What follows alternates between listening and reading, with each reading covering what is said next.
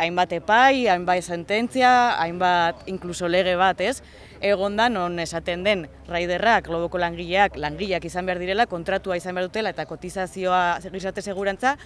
baina oraindik ere globo e, ez ditu kontratuak egiten, oraindik ere globoko langileak autonomoak e, dira eta autonomo gisa lan egiteko behartuak daude la urte eta gero. E, gaurko epaiketan ez dugu ez usteke ustekaberik espero, espero dugu sententzia izatea labek hasieratik defendatutako teoria direla langileak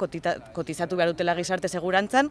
eta hitzarmen baten menpean arautuak izan behar direla beraien lan baldintzak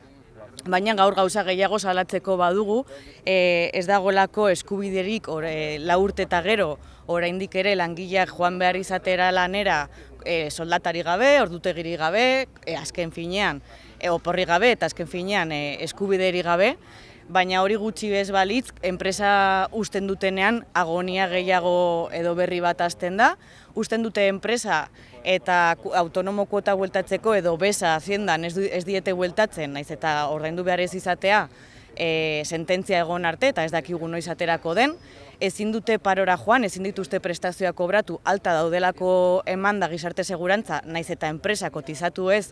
eta ezin dituzte e, prestazioa kobratu, o, hau da, ez dute lanik, ez dute soldatik eta ezin dute paroa kobratu, edo aitatasun baja ere ezin dute kobratu prestazioa, e, enpresak ez duelako ziurtagiria bidaltzen. Daude erabateko egoera dramatiko batean. Orduan, lab sindikatutik, e, e, bueno, pues gaur sartuko gara e, paitegira defendatzera langile hauek, baina salatu nahi duguna,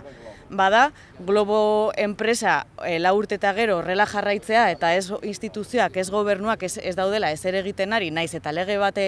egon, ez daude pues, betearazteko neurriak ez dira hartzen, ez dira zantzioak jartzen, eta hau impunitate osoa e, salatu nahi dugu gaur, eta jakinda ere gaurko egunean ez dela bukatuko egora dramatikoa jarraitu beharko dugula epaitegitan eta jarraitu beharko dugula langileak antolatzen kalean eskubide guztiak lortu arte eta egora prekario eta dramatikoa honekin bukatu arte.